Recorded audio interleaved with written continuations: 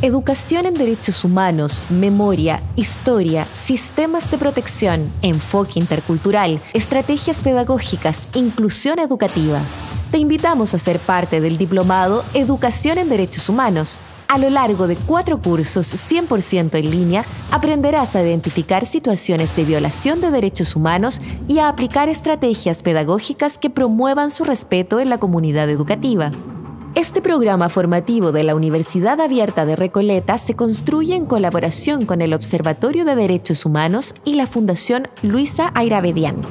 Pueden participar personas de todas partes del mundo, especialmente del área educacional, docentes y gestores educativos, así como cualquier persona que esté interesada en la temática.